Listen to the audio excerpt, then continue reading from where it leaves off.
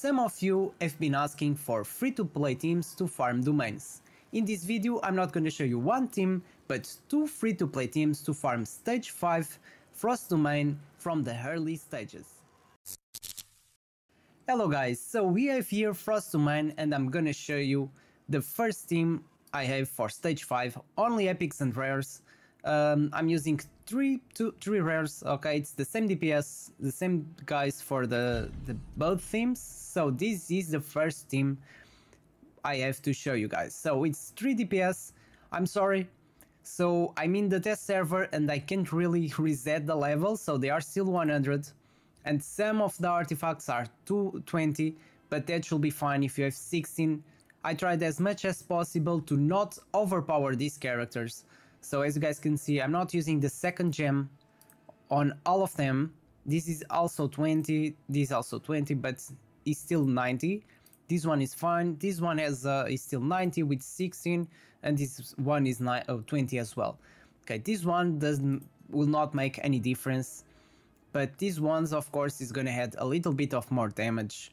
20% uh, more damage bonus and also here but I think this should be fine if you are just doing this at level 90 with artifacts on 16, okay? So I'm gonna show you guys the both themes. So the first one is this one, okay?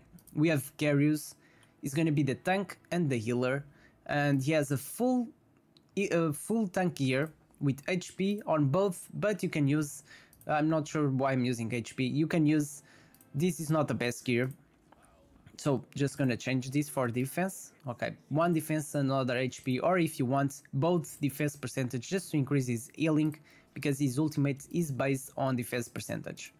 So he's gonna be our main healer and main tank. Then we have this guy Brody, with some accuracy, is he has some attack percentage here, attack percentage here, because he's gonna be the off tank. So Garius will do, will gonna help him tank doing the tank job so he's not gonna take so much damage. I don't have any scrolls on him and you don't need it as well. And then I have these three guys, so they are the less, less important here, um, so you can replace them for any other three damage characters you have. The best ones you have, you and you can use um, besides ice and poison, just not ice or poison because those are the ones that take more damage and do less damage in this dungeon. Otherwise, three characters from Fire Radiance or Lightning Necrosis will be fine, but I'm using three rares just to show you guys that you can do this easily if you use a different three DPS. So as I you guys saw, I'm using the Manticore, then attack percentage here, crit rate, uh, some attack on this gem, and then same thing here. Uh, if you are at least if you have attack percentage here and crit rate here will be the the main goal of your gear. And then two sets, one with crit rate, the one one gives me more skill haste. And then this one, she's the best DPS here, she does a, a really good damage for a rare character. And she has a crit damage here and some attack percentage and crit rate. That's what your goal, to have attack percentage on this one and crit rate on this one, it's the most important, it increases a lot your damage. And then of course you want to aim for at least 140 accuracy because I want to dispel the shield from this boss. So this guy can dispel the shield. There, there's another one on the fire or lightning Necrosis, yeah, elements that can dispel shields as well. I'm gonna show you guys. So will be this one. Okay, this one can do it as well, and there's another one can do it as well, but it's it's with a battle skill, so I can't control it. So I just save one timing and that one timing yeah it does this is too much complicated. Just 12.2 for the first skill casting time and then 18 since he's using the that artifact the incense burner is going to is going to reduce okay it's taking 21.2 seconds to cast his ultimate. With this uh, with this artifact he's gonna take less than that and probably less than 18 seconds. So that's why I came here and I adjusted the timings to 18 skill casting interval because that's how much this boss takes to cast these skills. And I just and make sure to activate this one, spare timings for continuous stages because I want him to dispel to use the ultimate to dispel the shield of this boss. Okay, pretty easy. After this, you can use the yeah use the defense percentage aura because these guys, some of them they do a little bit of damage, and we only have Garius healing, so you should be fine with defense percentage, especially with this team. Uh, you, you're not gonna have much problems. So let's watch the fight. So this is the first stage. You can let this on auto mode. As you guys can see, that rare character does insane damage. She's really good and then this guy is also good doing damage. The other one, the, the middle one, is the one doing less damage, but as I said, these three can be replaced for any other stronger DPS that you have. You don't really need to use these ones, you can use the stronger ones you can uh, that you have. And just don't use any ice or poison because they're not gonna be that useful on this domain. So the first wave is done, we have the second one and she'll be fine as well. One of the characters uh, behind they do some damage but with our um, Garius we are safe because he keeps healing everyone and his area of healing is all over all the battlefield so it helps a lot.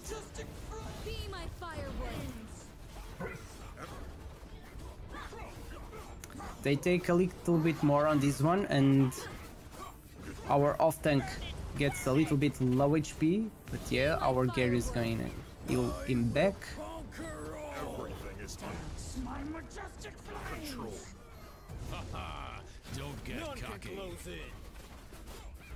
And there you go again. Nice damage. Okay, now we go to the boss. And the the trick to dispel the shield it's really important here because it's gonna reduce a lot the time we take to do this boss. So we have the timing so we should be fine. It's going to remove right now the shields. There you go. No shield to anyone. And it's going to keep casting this every 18 seconds. So every round is going to dispel the shield. This guy is really important here. As I said, if you have the other one, the lightning one, you can use it as well to dispel the shield. It's really important, but the thing is, this guy is gonna be important as well for the second build I have to show you guys, because he's going to be the main tank on the second build I'm going to show you. And the second build is mostly for those people that don't have, they are not lucky enough to have Garius, this amazing character that helps a lot and with Garius there's a lot of stages that it makes it much easier to do and to farm because yeah you can play replace two roles he can be a tank and a healer as well. So that helps a lot to do harder stages with him. So we still take a little bit but as I said use your stronger DPSs.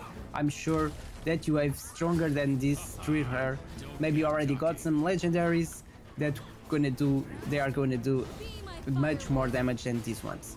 Okay so there you go this is was the first team and they took 2 minutes and 50 so next team I have to show you guys is this one so there's no Garius here different position okay and I had to do some changes on the gear. So these two have the same gear, but this one I had to replace. So I had to replace this one because my I don't want this one to die. The, this one I don't want this one to die neither. So I swapped her with this guy Percival, and I give him more HP. Okay, because the the guy here is taking more damage. So with the HP, he's not gonna die. He's level 90, and this doesn't give more HP, so you should be able to do this as well. And then I have Katarina, she's 90 as well, 4 stars, some scrolls, some enlight enlightenment on her because she does more healing. And now I have Brody as a tank, as you guys can see. Now I have HP percentage and defense percentage here because I want him to be the main tank. He's going to be the one taking more damage. And this time I'm going to use the attack aura because I don't have any other option. But again, if you are using another DPS, I'm sure this is going to be even easier for you. So let's have a look to this fight and see how this goes. So here you go. The first wave and this one should be not so easy like the other one. But they will take around the same time. So this will be just fine. So now we have that guy taking all the damage. He doesn't have the um, Gary's help anymore. And Nida doing uh, really good damage as well. Then this guy alright first wave is done we go to the second one. I think sometimes this one is more tricky, but with a good pos position of your heroes, they will be healed by um, Katarina and they will should be fine. Another thing, in this comp you can replace uh, Katarina as well if you want to use a different healer. Maybe if you have like a legendary uh, with some debuff immunity, you should be fine as well. I mean, always try to use your best heroes and replace them on these builds the best you can. Because these teams I'm showing you, it's like the lowest I can go.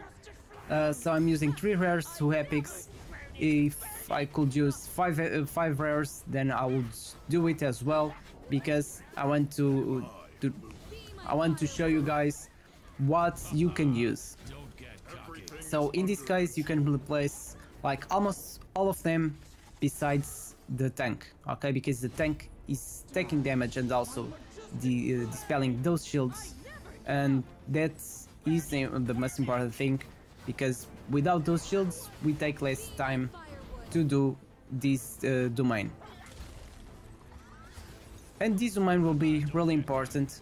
I mean, we need Frost and uh, Poison will be a really good element this season besides fire and radiance.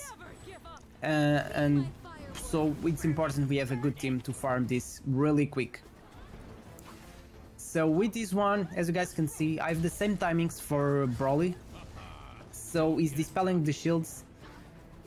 So it's 12.2 and then interval of 18 and don't forget to press the water thing to to in uh, to separate the stages okay? So the timing will be resetted every stage. So every stage is gonna cast his first skill at 12.2 and an interval of 18